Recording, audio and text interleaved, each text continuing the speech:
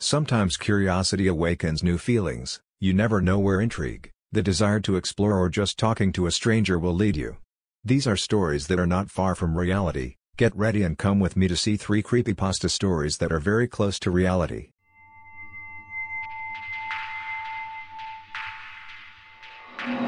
Once upon a time there was a group of Boy Scouts named Tom, Sarah, Mike, and Lucy. One day, during one of their adventures in the woods, they found an old abandoned cabin. Curious, they decided to enter to explore it. Inside the cabin, they found a dusty old toy that looked very interesting. Without thinking twice, they started to play with him. At first, everything seemed normal, but suddenly, strange things started to happen. The toy began to move on its own and make disturbing sounds. The children tried to get rid of the toy, but could not. Each time they tried, the toy would return to their hands, as if something or someone was preventing them from letting go. After a while, one by one, the children began to mysteriously disappear. Tom was the first to disappear, followed by Sarah. Mike and Lucy tried looking for them, but couldn't find any leads. Shortly after, Mike also disappeared, leaving Lucy alone and terrified in the cabin. She tried to run away from it, but the toy was chasing her, as if she wanted to stop her from leaving her. Finally, Lucy disappeared too, without a trace. No one saw the four Boy Scouts ever again. People said that the cursed toy had taken them to a dark and scary place, where they would never see the light of day again. Since then, the cabin in the woods has been considered a haunted place and no one dares to go near it. They say the cursed toy is still there, waiting for its next victim. Matthew was a long-time trained engineer, having been working on the same route for almost 50 years. Matthew used to drive his train in the afternoon, and there were usually only a couple of passengers. One day, a particular passenger caught Matthew's eye. He was a middle-aged man traveling alone. The man had a calm and collected presence, and seemed unafraid to speak to Matthew. He introduced himself as John and told her that he had once been an engineering student on the same route. Matthew was curious and asked about his past, to which the man told him that he had passed away 12 years ago. John explained that he had been sent to the other world, where he had been working for the gods as a kind of messenger. Matthew looked at John in amazement, but the man told him that his work here on earth was not finished yet. He had come to fulfill a mission, and that was to guide the dead to the other world. Then, the man told him that what Matthew was driving all those years was not just any train, but the train that took people to the other world. Matthew was moved by what the man told him. He understood that what he had been doing all those years was not just a job, but also a noble mission. With this, John mysteriously disappeared, Matthew never saw him again, but he always remembered his words. From then on, Matthew always strove to do his job with a noble mission. This is the story about Luke, a young man who found an ancient book that granted any wish but on the first page it had an inscription that said be careful what you ask for, but he ignored it and while the book grants every wish something bad happens to him. Luke more and more he loses the memory of his friends and family until he doesn't remember anyone and lives so alone that all the luxuries he asked for are of no use to him and he wants to undo everything but the book won't let him.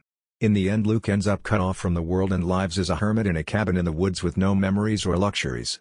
One day a woman who is walking through the woods, seeing Luke, asks him why he is sad. He tells her everything. She tells him that this book is under a spell and the only way to get rid of the spell is to get rid of the most intimate memory.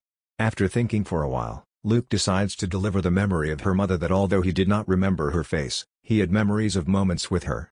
So when he told the book that he would renounce that intimate memory, the burning book and all the memories returned to Luke, he was able to remember faces of friends and relatives except that of his mother who he did not even remember.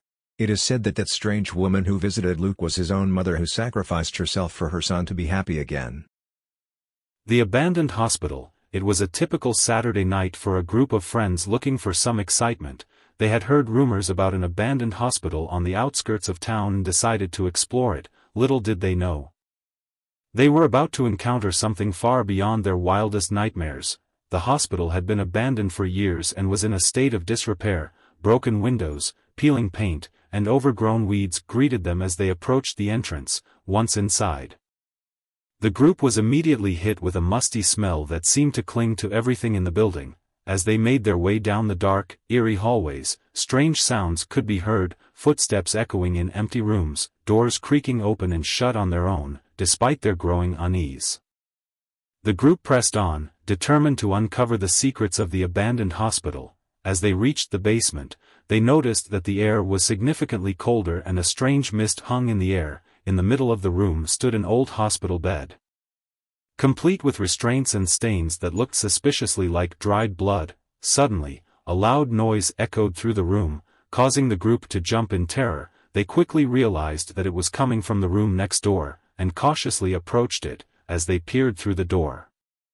They saw a figure standing in the shadows, at first, they thought it was just a trick of the light, but as the figure stepped forward, they realized it was a woman in a tattered hospital gown, her face was twisted into an expression of pure hatred, and she began to move towards them.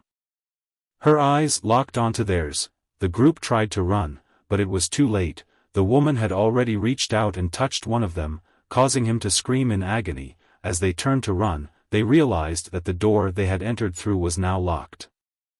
Trapped and alone in the abandoned hospital, the group soon discovered that they were not alone, the spirits of the patients who had died in the hospital seemed to be all around them, and they were not happy about the intrusion, as the night wore on.